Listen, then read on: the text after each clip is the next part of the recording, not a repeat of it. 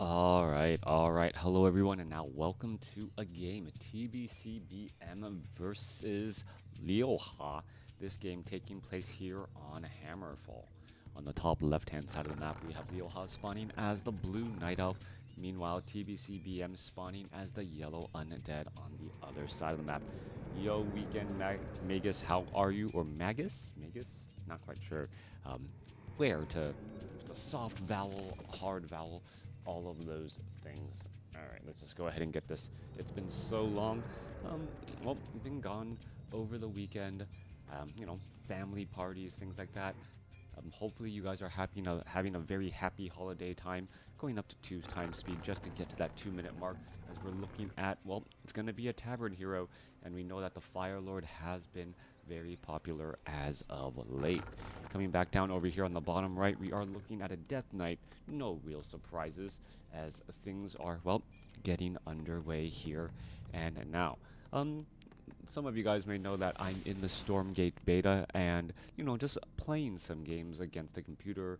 Tr I'm trying to, like, learn how to build everything and, and all of those keys and learning all of the units as well. And I went back to watch one of the replays, and I I don't know if this is going to be the case, but I think the replay system. Um, there's no way to turn off fog of war and there's no way to actually see what your opponent is doing unless you have um, the replay file from um, from an observer um, They've been making some new changes, I believe. Um, there was some discussion on how you can like solve map hacking and things like that nature. And well, one of the ways you solve map hacking is you don't send the information over of what your opponent is doing until you're actually close enough. But that also means that, well, there is going to be a problem with um, a, a, problem if you're trying to study replays to see what your opponent did earlier in the game if you didn't actually have a unit there. Anyways, action already on in this game here. You can see Fire Lord trying to finish off one of those ghouls, going to be able to finish it off here. Ancient of War taking a little bit of damage. Lava spawns are coming around, doing a little bit of splitting as well as the Fire Lord is just running around in circles, trying to finish off, um, well, very different targets.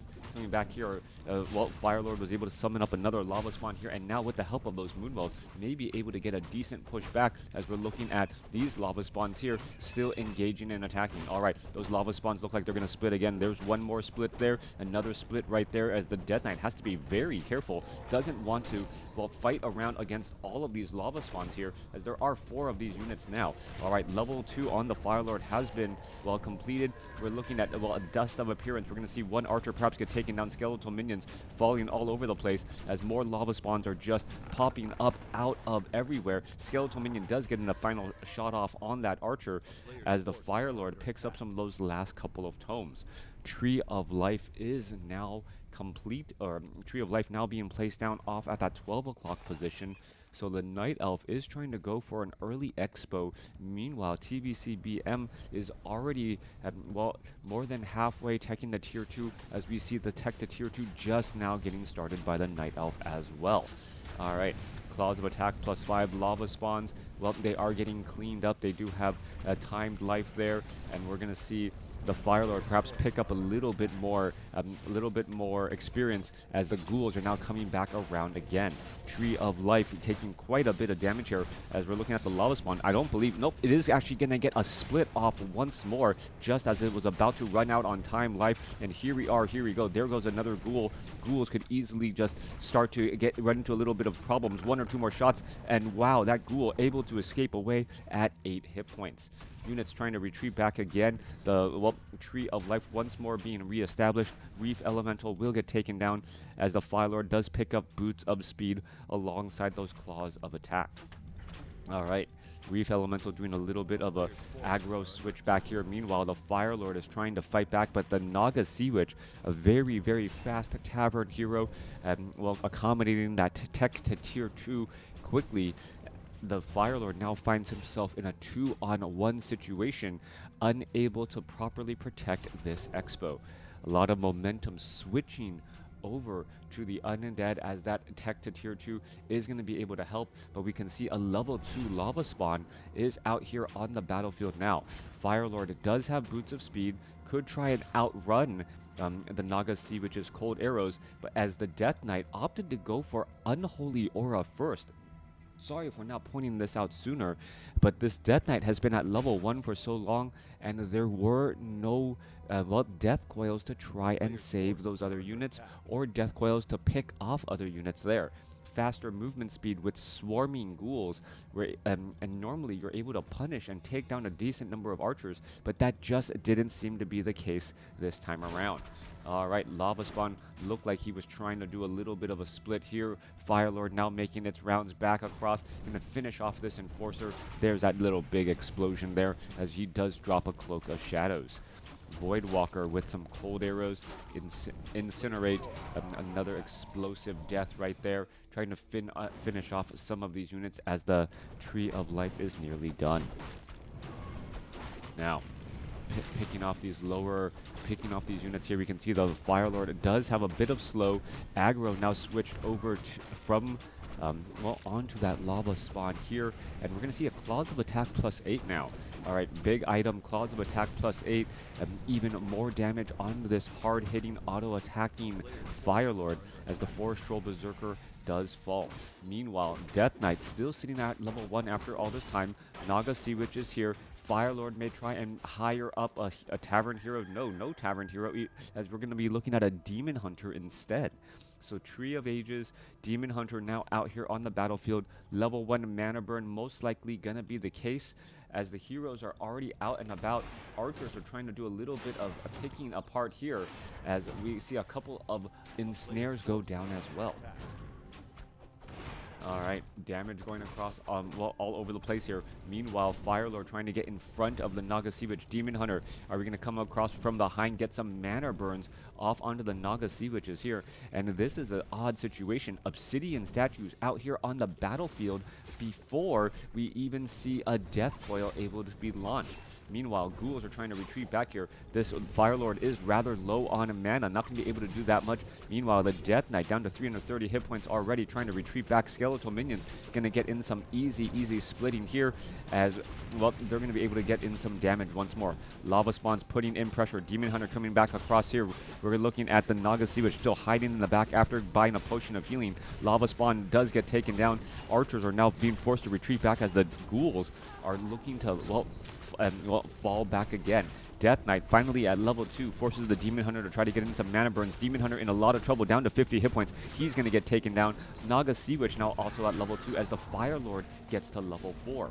Level 2 Incinerate is on the table here, but it only really helps once those units start exploding as the Fire Lord now retreating back. Um, Demon Hunter will get resurrected at level 1 fairly fast as the Death Knight, Naga Sea Witch, and obsidian statues are going to start to hit a good stride now and get perhaps to level 3 quickly. Meanwhile, we're looking at Night Elf being able to build up his economy faster. You can see he's sitting at 46 over 50 supply. Um, winning in that overall supply race and now getting in some dryads, some tier 2 units out here on the battlefield. Uh, meanwhile, Death Knight still has that potion of greater healing he had earlier, some strong survivability there.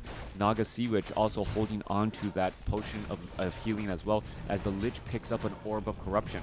Firelord uh, uh, coming over to perhaps put in some pressure across some of those units. You can see some frenzy being cast by the Necromancers. I was originally expecting to see some animate or or yeah animate or raise dead try to get some of those necromancer skeletons out here on the battlefield. Instead, it's fast attacking heroes who take a little bit of damage. Death Coil Frost Nova finding the back of that Demon Hunter here, and it is Frenzy which is causing the problems now. Death Knight are going to pick up a Ring of Regeneration as well. We're looking at some big fast attacks all across the board as the Dryads are picking off those Necromancers slowly but surely. Meat Wagons are joining in on the battle. There's level 3 on the Death Knight. There's the Death Coil to save the Necromancer. Firelord trying to, well, uh, well, spawn up some extra units, perhaps finish off more as we can see some beautiful, beautiful micro by the Night Elf, picking off those lower hit point units and allowing the creeps to still continue to, well, cause a bit of problems. Naga Sea Witch gets to level 3, Lich staying at level 1, that Ghoul Frenzy, very fast um, attack speed on that Lich, Death Knight, well, no more Frenzy there, but um, it looks as though the Nagas, or the the Lich, with that fast attack speed, able to apply that negative armor debuff. Naga Sea Witch also with those faster attacks, able to rack up some damage too. All right, what is going to come up next? That is the question here. Undead, well, with that unholy frenzy, able to really get a lot of a lot of mileage out of the auto attacks of those heroes.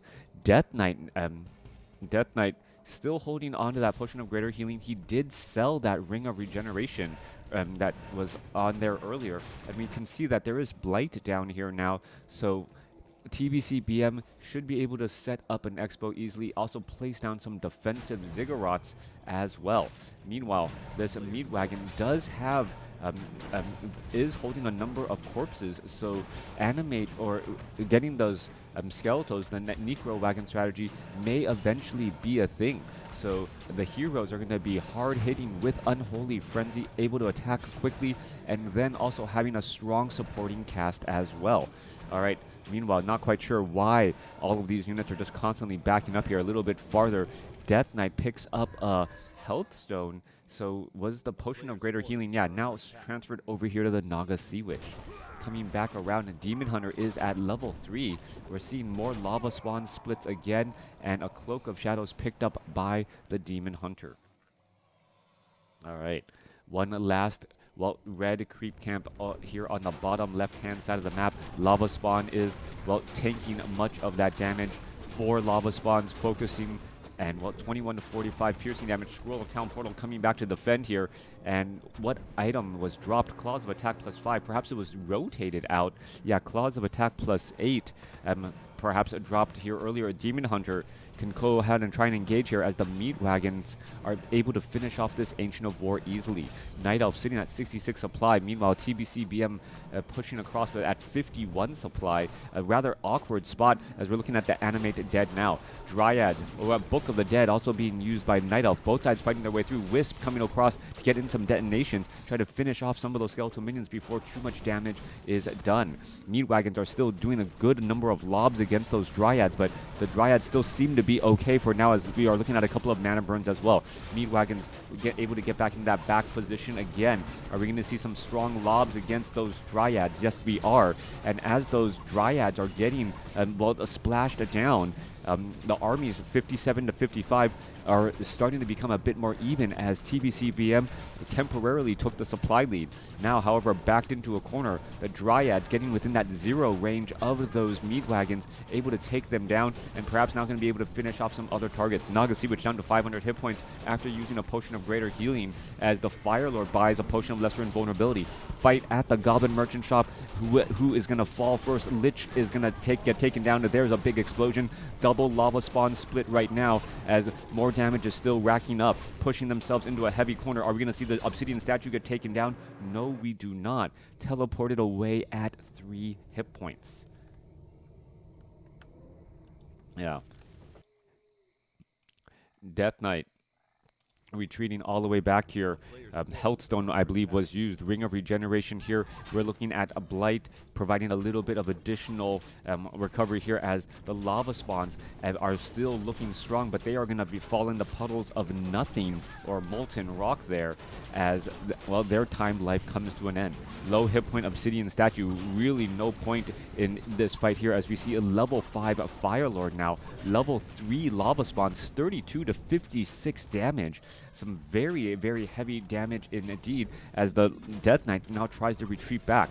Lich about to get resurrected here. We're looking at the Necromancers trying to, well, churn up some things as level 4 Demon Hunter now falls back. Lava Spawn is still getting in some attacks here. I don't believe, um, well, it is going to be able to split that Spirit Tower. And Naga Sea-Witch going to try and, well, finish that off. A split does get a little bit more regeneration as the Spirit Tower is causing some damage here. Lava Spawn, well, quickly gets finished off. I it Does the armor type change? Was no, the armor type shouldn't change. It was heavy the entire time. Just additional units out here, and perhaps the Lich applying some negative armor debuff to allow the Spirit Tower to finish it off quickly. TBCBM still in that awkward 51 supply range, uh, paying the low upkeep taxes with nothing to really show for it. Meanwhile, Death Knight looking to get to level 4 um, and should be able to get there quickly. Naga Sea-Witch is going to get uh, we're going to be very close to level 4. Lich gets up to level 3. So level 2... Oh, come on, one more shot. There it goes. And Lich now at level 3 with level 2 Frost Nova. That, that Death Coil Frost Nova could spell certain doom. Remember, the Fire Lord is an agility-based hero, so it doesn't have a lot of hit points at and it almost feels like a caster similar to the Shadow Hunter of the Orc army. At only 775 hit points, a Death Coil Frost Nova combination with a little bit of focus fire, especially from these frenzied heroes, could really burst down that hero, um, burst it down. We are looking to see that the potion of invulnerability, survivability on that Fire Lord, coupled with the Demon Hunter being able to get off and execute those critical early mana burns to um, well to minimize how much spell damage comes out from this undead army. All right. Little bit of an engagement here. No Scroll of Town Portal po possible as there is no Necropolis. Massive number of repairs to try and keep the Spirit Tower up. And, well, even with all of these repairs, though, it's not going to be able to stay alive. Spirit Tower has been focusing down some individual targets. It looks as though this ex Expo will get taken down. A Demon Hunter staying at level 4. The Demon Hunter does have an Orb of Venom, and there is a Staff of Preservation on the Fire Lord, as the units are now looking to fall back.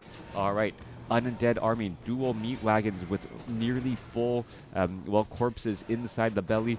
Necromancers have plenty of mana. Demon Hunter gets Staff of Preservation back home. Death Coil onto the Demon Hunter as it's going to be a slow walk to try and defend leaving home without that scroll of town portal. And now this is what ends up happening. A lot of um, a lot of fighting going back and forth here. Is the demon hunter going to be able to drink some more of that moonwell juice? It looks like he's able to get a little bit more going. Needs to perhaps try and mana burn down more of these units here as the necromancers are churning out these skeletal minions and or skeletal mages and skeletal warriors Dryad's not a good counter um, to, even though they are summon units. We need to see some dispel from those Wisp as the Death Knight able to stay alive at least a little while longer here. Well, in comes some more of these units again. Death Knight forced to use a Scroll of Town Portal. He was at uncomfortable frontline spot.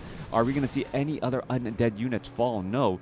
But his army was just much, much larger, had higher damage output, but was forced to use a Scroll of Town Portal as the Death Knight, well, as you can see, is completely surrounded by all of these skeletal units, unable to break free. Meanwhile, the Expo here has been destroyed, and Night Elf is just sitting on the stronger economy again.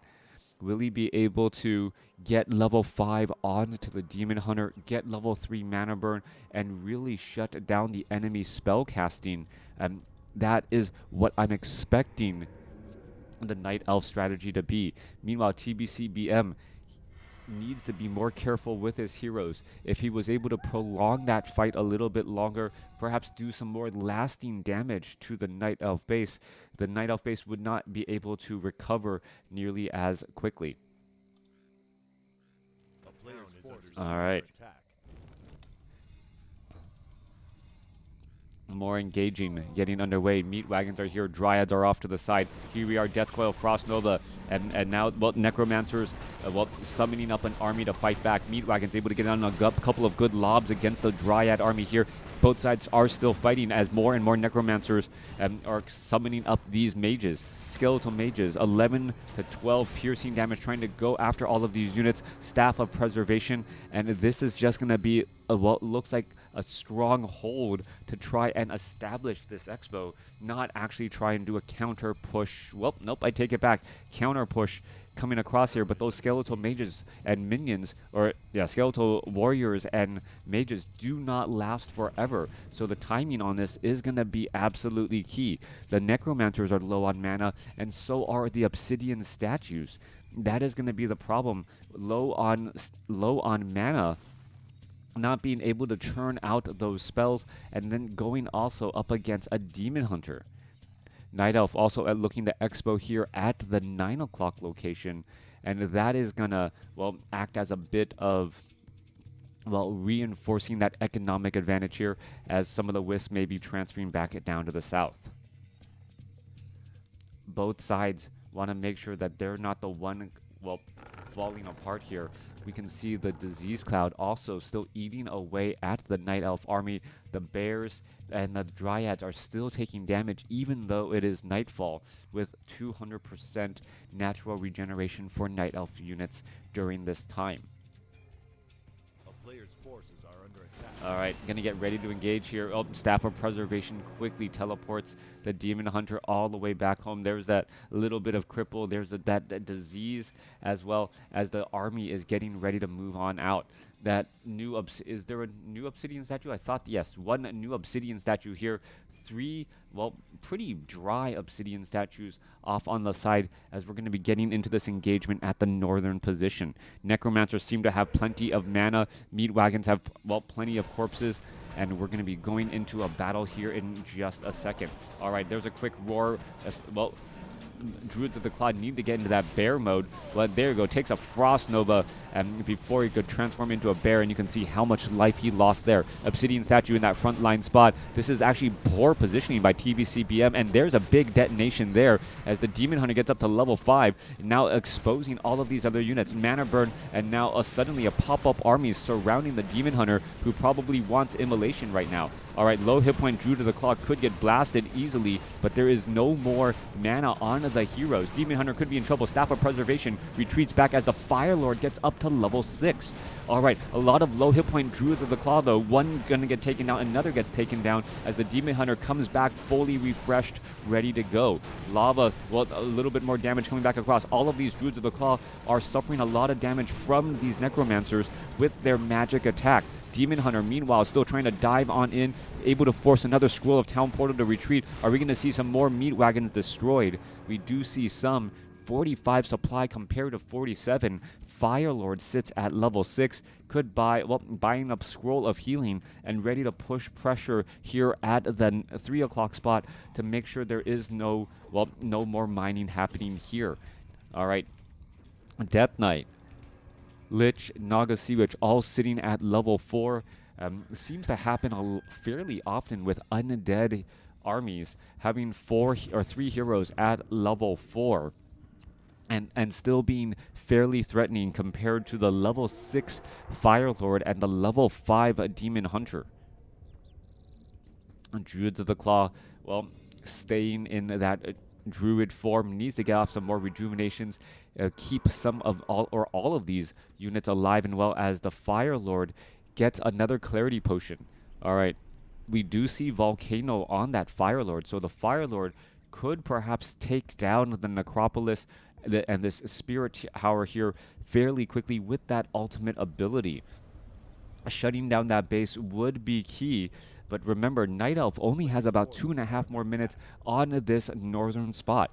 TBCBM still has full saturation here or um, can get full saturation here and if he's able to hold on to the space he'll be able to get, well catch up in that economic game overall. We can see more creeps still getting cleared out. There is still a little bit of this creep camp or actually a good amount of this creep camp left to try and get all of the undead heroes or at least some of them to level 5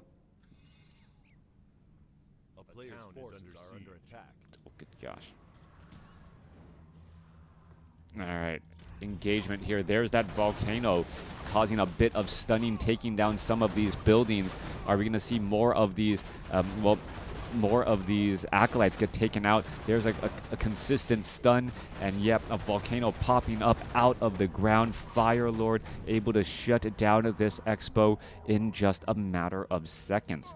Meanwhile, what is the un undead army trying to do at this spot? Making sure that this expo here at the 9 o'clock position is um, well, is not operational. Now, TBC TBCBM needs to be careful on positioning. We've seen what happens when his positioning isn't quite right, as the meat wagons, well, able to get off of some good lobs against those dryads, which are incredibly important. Now, in comes the skeletal minions, or skeletal warriors and skeletal mages. Big damage here. Mana flare on the fairy dragons, but the fairy dragons weren't in position at the very start. That is going to be a problem. Their fairy dragons trying to reflect back, but remember, the skeletal mages do deal decent piercing damage and are able to poke down those fairy dragons out of the sky. Also, Night Elf Army does have superior upgrades by far, 2-3 upgrades, as the Demon Hunter gets teleported back home after a strong mana burn. Firelord still pushing with a potion of invulnerability, trying to save all of these units here as the gargant or giant sea turtles and some of the creep camps are now making their way over as well. All right, Druid of the Claw getting taken down. Level 5 now on the Naga Sea Witch. Level 4 still on the, this Lich here off to the side as the Demon Hunter comes back around trying to finish off some more of these units again. 59 supply for the Night Elf army, pushing back the other way. 46 supply for TBCBM as TBCBM is retreating back here. A little bit more lava spawn splitting again. Demon Hunter trying to well bring up the rear, trying to chase down to this Obsidian Statue mana burn death within range there. As the Demon Hunter now, well, perhaps going to try and limit even more losses again. Cripple onto that Demon Hunter. Um, Demon Hunter is still trying to dive into position. There's another mana burn once more, but only a five mana mana burn again as Obsidian statues are falling. Night Elf looking to really seal off this game. It looks like he could close out this game here in just a second as the Demon Hunter is still looking strong enough even though he is was affected by Cripple. All right, Death Knight now trying to retrieve back. Lich well, ends up falling, giving a level up to the Demon Hunter, who's now at level 6 Metamorphosis, and that would, well, give more ranged Chaos damage again, finishing off the rest of these units. The Fire Lord trying to time his explosive attacks with that Incinerate, get another big explosion kill, and we're just looking at all of these units falling one at a time. Druid of the Claw is getting cleaned up here, but it looks like TBCBM is going to end up leaving the game, unable to hold on, um, even though he was behind economically, was able to do some efficient trades, but in the end, the level 6 Fire Lord clearing out this expo, and the level 5 Demon Hunter with Mana Burn able to tip things in favor and close out the game before the Undead Heroes could really hit their stride. Let me know what you guys thought about this game in the comments below. Here are the final scores.